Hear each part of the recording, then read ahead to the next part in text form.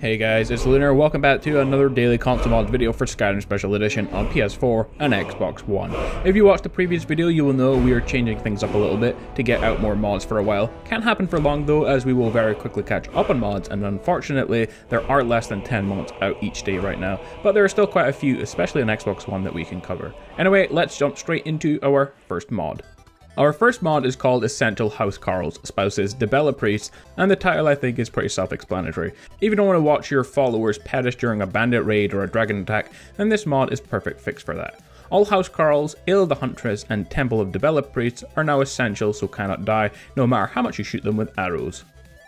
Next up we have a very small one and it's called Daedric is Magic. The mod is a simple mod and all it does is add in the red glowing effect to the Daedric armor, bow and arrows. Of course it doesn't affect any of the stats for any of the stuff, it simply is an aesthetic change to the texture. Our next mod is called Veloth's Judgment, an Oblivion artifact. This mod's Veloth Judgment is a Daedric Warhammer originally found in Morrowind during the Tribunal Temple questline. The Warhammer can be found on a table in the abandoned lodge in Solstheim. The Warhammer in terms of damage does the same as a Daedric Warhammer, and it has an enchantment on it though that is very strong. It does 25 points of burn damage per hit, also, it sets targets on fire so they do additional damage for fire, absorbs 25 points of stamina, and at the same time it does 25 points of stamina damage to the opponent. So I'm pretty sure that means you will take 50 points of stamina off your full per hit. Either way, it's a very cool weapon, and I do like all these nostalgic Oblivion and Morrowind kind of artifacts that have been added back into the game, so I'm looking forward to some of the other ones. There are quite a few other ones we will be adding into future videos as well.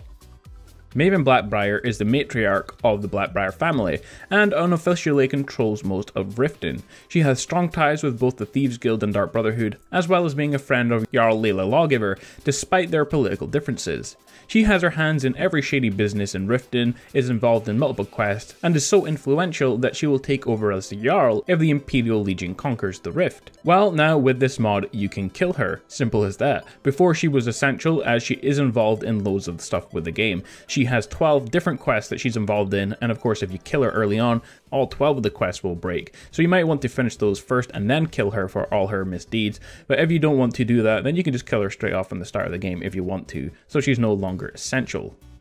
Our final mod is a small change, but a very nice and immersive one. Feels like we don't get very many immersion mods these days. This mod changes the appearance of road signs to a more weathered and more immersive look, instead of a sterile, well-maintained road sign post that were created yesterday and seem to be immune to weather effects or the environment. At the same time, it still provides readable road signs. Beside overhauling all existing posts, it adds new ones at logical places throughout Skyrim, not including DLCs yet though. Many of the posts differ in design, have additional vegetation or small clutter added to them, or around them to enrich the experience of playing the game. In snowy environments, the road signs are subject to snow shader effects and so on. So if you're looking for more realistic weather road signs in game, then you could check out this mod. Well, that's it for this mod video. If you haven't done so yet, make sure you check out the other video released at the same time as this one for 5 more mods. Like I said guys, some of these videos will be slightly shorter than the others, but we did cover 10 mods today rather than 6, so I guess that's a good thing. If you found today's video useful, a like and comment is very much appreciated. And if you're new to the channel, be sure to hit subscribe to see a lot more Skyrim content. I have hundreds of similar videos to check out on my channel. If you haven't done so yet, turn on notifications as well to see the videos as soon as they come out each day. But for now guys, you take care and have an awesome day.